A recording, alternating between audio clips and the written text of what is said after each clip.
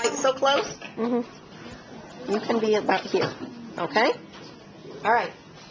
Meredith bought a book for $8, a magazine for $5, and a bottle of water for $2. She paid with a $20 bill. How much change did she get?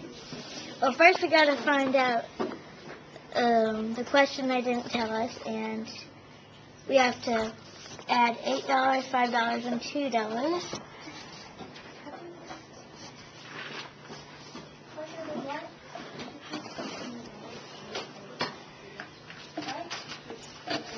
And now we're going to do 5 plus 2 equals 7. And 7 plus 8, 15. And then we're going to do...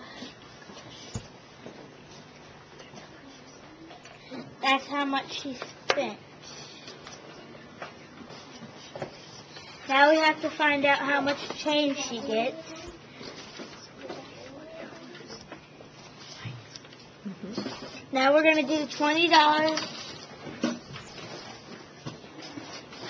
minus 15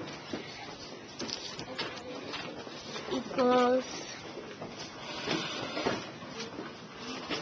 5.